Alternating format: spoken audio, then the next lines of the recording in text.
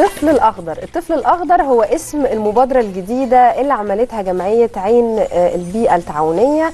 وبيتم آه، ده من خلال المبادرة دي تأهيل الأطفال وتعليمهم عن البيئة وكمان التغيرات المناخية. وكمان كيفية الاستفادة من القمامة والمخلفات وتحويلها آه، لطاقة ممكن إن إحنا نستفيد منها. تعالوا نعرف أكتر عن تفاصيل هذه المبادرة من ضيفنا اللي منورنا في آه، الاستوديو الأستاذ أحمد معوض مؤسس المبادرة. صباح الورد يا أستاذ أحمد وكل سنة وحضرتك طيب. صباح الورد يا أستاذ أحمد ومنورنا وكل سنة وأنت طيب. والطفل الأخضر إيه بقى حكاية الطفل الأخضر؟ كلمنا أكتر عن المبادرة الفكرة جت إزاي وإمتى؟ طيب يعني هو الطفل الأخضر لما أقول طفل أخضر عشان بس نوضح المفهوم آه، أما أقول اللون الأخضر فاللون الأخضر هو بيتضمن آه، عوامل كتيرة جدا عشان ياخد صفة ال- الأخضر. آه، يتضمن الطاقة المتجددة يتضمن تدوير المخلفات الوقود الحيوي مكافحة التلوث ال- البيئي عوامل كتيرة جدا بتبقى آه، في مضمونها اللون الأخضر. فما أقول طفل أخضر يبقى أنا دلوقتي الطفل ده هو مثقف أو إن هو يتضمن آه، العلوم كل الأنشطة اللي أنا بتكلم فيها. آه، المبادرة مش وليدة الصدفة. آه، المبادرة هي مرحلة من مراحل مشوار عين البيئة. آه، المشوار بدأ إن مجموعة شباب حبوا إن هم يكافحوا ظاهرة التغيرات المناخية اللي بتعاني منها مصر والعالم كله. أصبح اتجاه العالم كله دلوقتي في موضوع التغيرات المناخية ولسه شايفين من أيام قليلة قمة باريس للتغيرات المناخية. فالقضية قضية عالمية في الوقت الحالي. فإحنا كمجموعة شباب بدأنا نفكر إن إحنا إزاي نواجه الموضوع ده على أرض الواقع. آه، كنا بنشوف إن موضوع التغيرات المناخية أو آه، التوعية البيئية عموما آه، بترتكز أو هي مركزة في الوقت الحالي على دورات آه، ندوات آه، اجتماعات. فإحنا حبينا نغير الاستراتيجية ننزل على أرض الواقع لأن طبعا آه، لا بالندوات ولا بالاجتماعات بتتحل المشاكل. آه، بدأنا فعلا ننزل على أرض الواقع نشوف إيه ال- الأزمات أو إيه المشاكل اللي موجودة إزاي نقدر نحلها. قدرنا إن إحنا نوصل إن إحنا آه، أهم حاجة طبعا تدوير المخلفات المنتشرة في الشوارع كلها. قدرنا إن إحنا نعمل من المخلفات العضوية البيوجاز غاز الميثان اللي بنولد منه طاقة حرارية وبنولد منه طاقة كهربائية. قدرنا نعمل المخلفات العضوية السماد العضوي اللي بيستخدم آه، بعد كده في الزراعة. بقالكوا قد إيه بقى في النشاطات دي؟ آه، إحنا آه، كعين بيئة عموما إحنا بقالنا آه، أربع سنين شغالين على الأرض على الأرض. آه، وبعد كده إحنا جمعنا بقى كل المتخصصين أو كل المهتمين بالأنشطة البيئية واللي في الآخر بتهدف لمكافحة ظاهرة التغيرات المناخية. آه، كان التحدي إن إحنا نجمع بقى كل الأنشطة دي في مكان واحد عشان نقدر من خلاله نقدم خدمة بيئية متكاملة. طيب أستاذ أحمد أنا عايز أعرف آه، دراسة حضرتك إيه ومجال عمل حضرتك إيه في البداية؟ لا أنا دراستي تجارة. آه يعني بعيد تماما عن يعني مش. زراعة مش حاجة. لا لا لا هو الموضوع جه معانا يعني إحنا يعني ال- ال- البذرة الأولى لعين البيئة وفكره عين البيئة آه كانت من خلال الطاقات اللي انفجرت في 25 يناير. آه. وإحنا مكملين لحد دلوقتي. كانت هي مجرد آه دافع وطني إن إحنا عايزين ننظف آه يعني حضرتك بتشتغل في مجال تاني غير آه، ده, عمل يعني تطوعي. ال- البيئة البيئة لا هي البيئة خلاص بالنسبة لي أصبحت رسالة. يعني رسالة. آه أصبحت رسالة. وشغل حضرتك بعد الأساسي ما إيه؟ تعمقت في الموضوع أنا شغلي تجارة تغذية آه في سل- سلاسل السوبر ماركت. آه ولكن بعد ما تعمقت في دراسة مشكلة البيئة لا هي أصبحت بالنسبة لي هي رسالتي في الحياة. يعني إحنا هل الدافع الأساسي كانت كلمة الرئيس عبد الفتاح السيسي عن مخاطر وتأثير آه، المناخ بصفة عامة؟ لا يعني خلينا نقول إن إحنا بادئين من بعد 25 يناير وقلنا إن الدافع كان قبل. وطني. مم. يعني من آه، قبل من آه، من آه عشان 2011 نقول 25 يناير. كان إحنا إحنا استثمرنا الطاقة اللي انفجرت. آه بدأنا إن إحنا نستثمرها في التنمية. آه كان كل همنا إن إحنا ننظف الشوارع نشجر. ولكن لما آه استوعبنا الموضوع أكبر يعني بعد ما المخلفات دي إحنا هنجمعها من الشوارع هتروح فين وإيه مصيرها كانت هي دي نقطة البداية بتاعتنا إن إحنا اكتشفنا إن المخلفات بي- بيتم حرقها وبيتم دفنها. ولكن في الحالة ديت لقينا إن إحنا بنهدر موارد إحنا نقدر نستفيد منها مرة أخرى. كان هي دي البداية اللي إحنا بدأنا نشتغل عليها. ومن ساعتها وإحنا شغالين على آه، كيفية اجاده آه، حلول بديلة لموضوع التخلص الآمن للمخلفات. ضفنا على كده بقى موضوع الطاقة المتجددة زراعة بدون تربة الوقود الحيوي لحد ما أصبحنا إن إحنا عندنا خدمة بيئية متكاملة زي ما بنقول. ودلوقتي إحنا عندنا المجمع اللي بنقول عليه المجمع البيئي اللي ضم كل الأنشطة البيئية اللي بنتكلم فيها اللي هي آه، في الآخر بتهدف لمكافحه أو التحدي لظاهرة التغيرات المناخية كتدوير المخلفات بدون زراعة الأسطح اللي هي زراعة بدون تربة آه، أو الطاقة الشمسية طاقة متجددة. كل ده موجود في مكان واحد. وكان التحدي عندنا إن إحنا نعمل المكان ده أو نعمل التجمع ده في قلب منطقة عشوائية. ده كان التحدي. والتحدي الأكبر إن يتم تحويل مقلب قمامة في الأصل آه. للمجمع البيئي أرجوك اللي إحنا عايزين نتوقف عند النقطة دي. ونشوف الموضوع بشكل فعلي. عندنا صور آه، هنعرضها دلوقتي للاماكن اللي اتحولت من خلال طبعا مجهوداتكم من خلال الجمعية. هنعرضها حالا. أيوه إحنا بقى حضرتك بقى تعلق على الصور دي. آه. هو ده الموقع. قبل ما يعني آه قبل ما نبدأ فيه كان هو شكله بالشكل اللي إحنا شايفينه تجمعات المخلفات اللي موجودة فيه.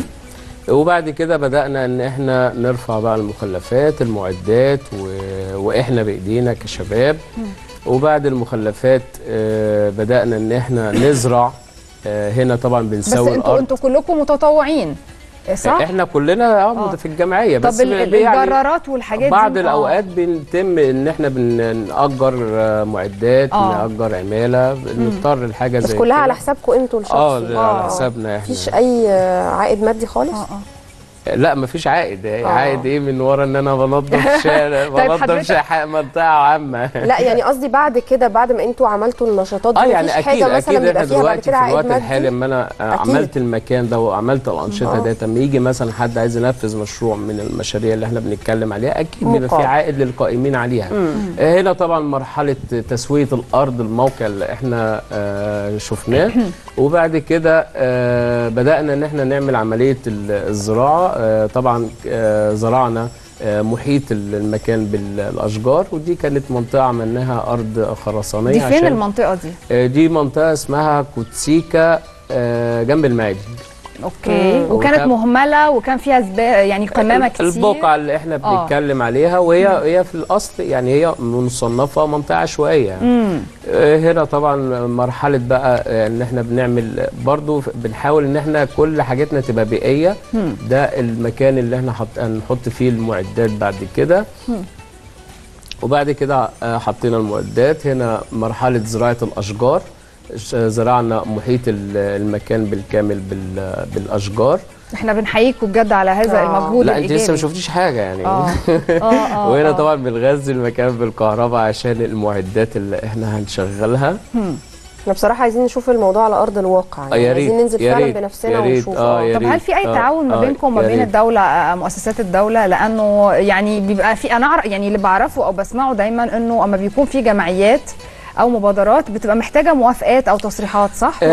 آه، إحنا طبعا معانا الموافقات ومعانا التصريحات وإحنا جمعية مشهرة من 2012 آه، يعني إحنا في بعض ال- الشغل اللي بنعمله مع وزارة ال- البيئة. وكان في مبادرة إحنا أطلقناها من مدرسة غير بيئتي بالتعاون مع وزارة التربية والتعليم ولكن آه. للأسف ما اتنفذتش لحد دلوقتي. وفي مبادرة قائمة حاليا آه، تحويل أول منطقة عشوائيه لمدينة خضراء. ودي إحنا آه، هننفذها إن شاء الله بالتنسيق مع كلية تخطيط عمراني وكلية فنون تطبيقية. وطبعا هيتم مخاطبه والتنسيق مع الجهات المعنية وزارة التنميه المحلية وزارة البيئة. الصورة دي آه، تقول لنا عليها إيه؟ الصور. الصورة دي تجهيز المعدات اللي إحنا بنصنع المعدات اللي بنشتغل بيها. كمان يعني آه، آه. آه، ده أنتوا يعني مكتفين ذاتيا تماما. آه يعني آه آه، كل المعدات اللي هتشوفوها إحنا اللي عاملينها مكابس سيور كل حاجة. دي طبعا تصنيع وحدات فصل من منبع. هنا تنفيذ نموذج الصندوق الغاطس. آه إيه الصندوق الغاطس دي؟ آه، صندوق كمامة غاطس تحت الأرض. ده بيعاكل مش... بيعالج مشاكل الكمامة المنتشرة بصورة أفقية وعملية النبش اللي بتتم. وهنا مرحلة تصنيع آه، سير الفرز. لا هو في مجهود آه، هنا كمان كبير قوي تصنيع يعني آه. تصنيع وحدة تجميع ال- ال- المخلفات. ال- الجميل بقى الميزة أو الحاجة اللي إحنا بنفتخر بيها إن إحنا اللي بنعمل كل حاجة بإيدينا. آه يعني طبعا. إحنا اللي بنصنع بس ده معناه إن أنتوا جايبين ناس متخصصة بقى بتعرف تصنع طبعا طبعا. هنا تصنيع المكبس. إحنا معانا هنا لو حضرتك شفتي في أكتر من صورة كان في مهندس سامي برسوم ده راجل استشاري آه، خبرة في تصنيع كان المعدات المفروض يكون معانا النهارده. وتدوير آه آه. كان المفروض يبقى معانا النهارده لكن للأسف ما قدرش. أيوه آه، هو خبرة أكتر حوالي 40 سنة في مجال تصنيع معدات تدوير وتدوير المخلفات الصلبة بالأخص. هنا ده آه، وإحنا بنعمل وحدة ال biogas وحدة ال biogas دي بتاخد مخلفات الأكل آه. وتحولها لغاز غاز ميثان. الغاز ده. آه، بنولد منه طاقة حرارية بوتاجاز أو بنولد منه طاقة كهربائية. وهنا بنصنع وحدة الكومبوست دي الوحدة دي بتحول مخلفات الأكل لسماد عضوي نقدر نستخدمه في الزراعة. يعني لو حطيت في حتة صحراوية هاخد بقية بواقي الأكل بتاعتي هزرع جنبي. أي مشروع بتفكروا فيه وبتنفذوه من كل الحاجات اللي إحنا شفناها في الصور دي بتاخد وقت قد إيه؟ يعني حددي بس المشروع وأنا أقول لك إيه. المنطقة اللي مثلا البيوجاز آه، مثلا, مثلاً. ده في يوم.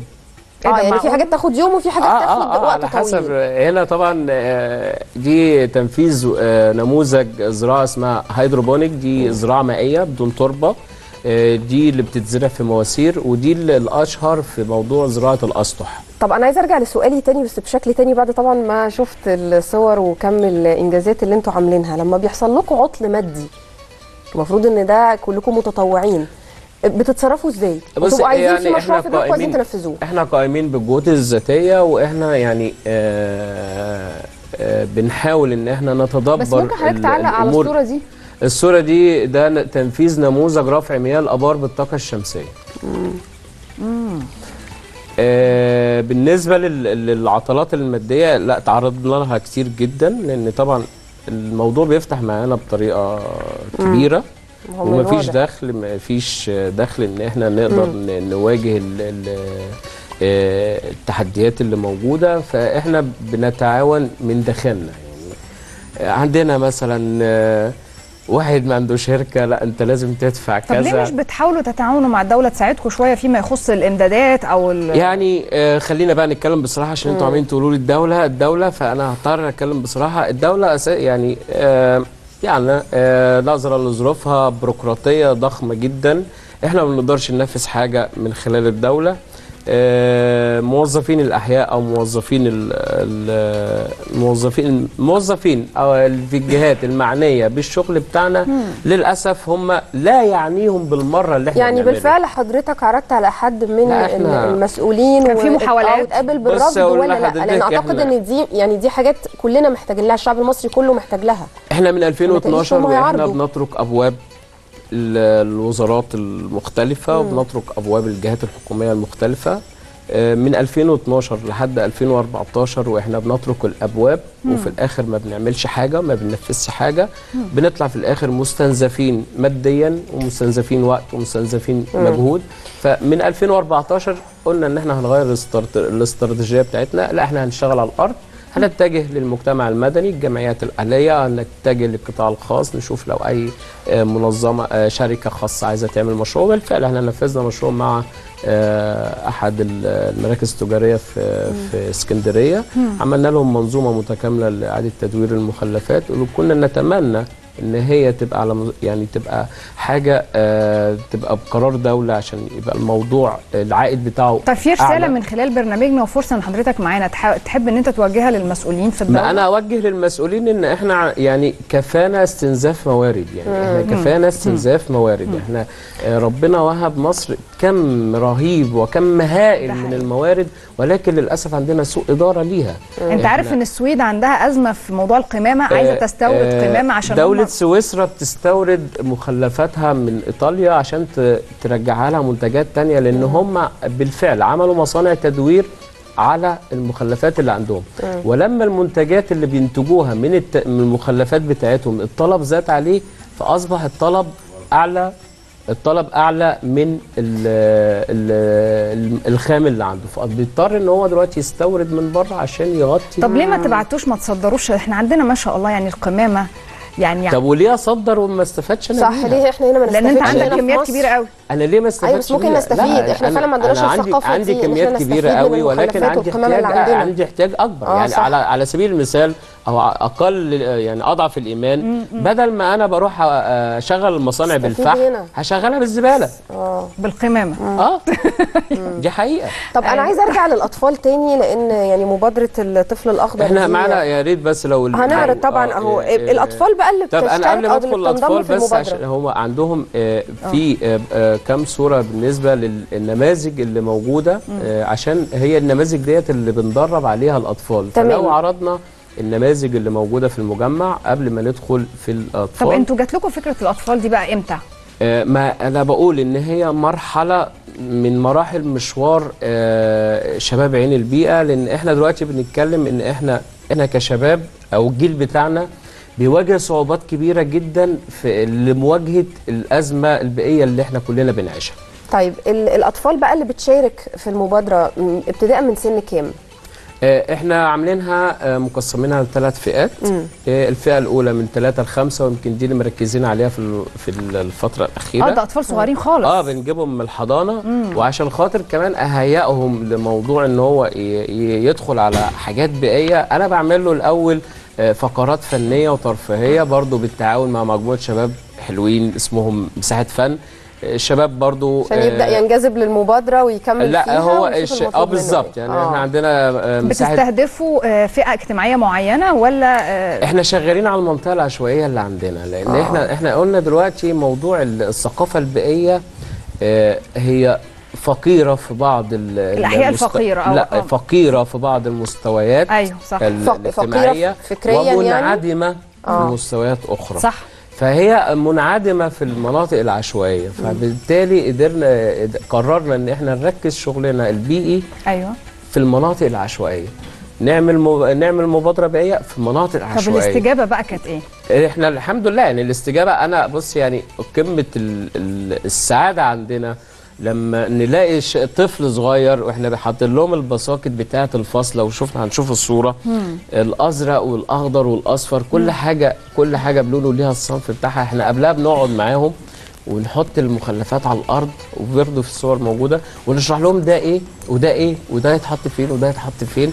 وبعد كده أنتوا بتوقفيهم طابور تعملوا لهم مسابقة في الآخر كل واحد بيمسك حاجة هو يمسك. يعني هم متفاعلين ما كانش في نوع من المقاومة أو الرفض. جدا. أنا الطفل يعني أنا عايز أقول لك إن إحنا مبسوطين وإحنا شغالين مع الأطفال.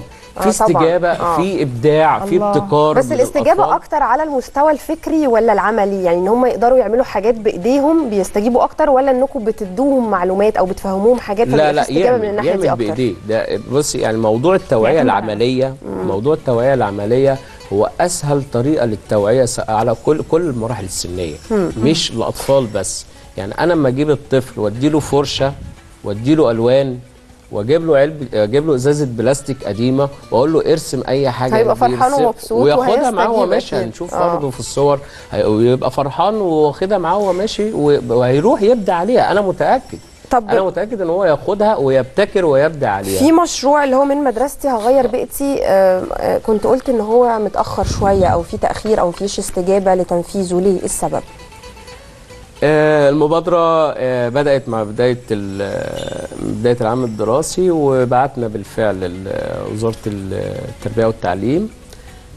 ولكن آه، السؤال يوجه لوزارة التربية والتعليم. طيب يعني آخر سؤال بقى لفقرتنا آه، حضرتك يعني إيه اللي جاي؟ إيه المشاريع القادمة ليكوا أو إيه الخطوات القادمة اللي هتتخذوها؟ آه، المشاريع اللي قادمة إن إحنا فعلا نخرج ال- الكلام اللي إحنا بنقوله ده من مجرد إن هي أنشطة بندرب عليها الشباب والأطفال لمشاريع فعلا تقدر دخل على آه، القائمين عليها.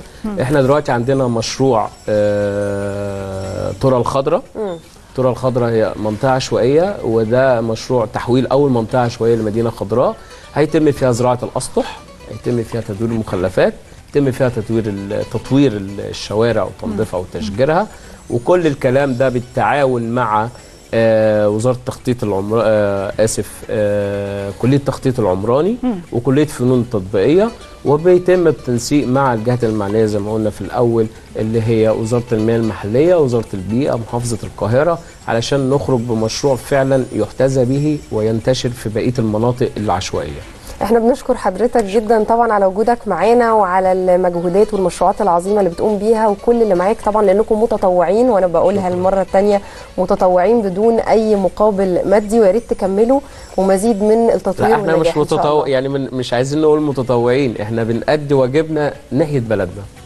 ده مش إحنا. بنشكرك طبعا شكرا. جزيلا وبنحييك على هذا الشعور برضو الوطني أكيد. ونتمنى أن يكون بقى يعني ألقينا الضوء برضو على المبادرة الجميلة دي ويبقى في تعاون ما بين آه، الدولة ما بين هذه المبادرة الجميلة وإن إحنا عندنا آه، طاقات لازم آه، نستفيد منها مشاهدينا آه. الأستاذ أحمد معوض مؤسس مبادرة الطفل الأخضر نورتنا شكرا بنشكرك شكرا جزيلا وصباح الورد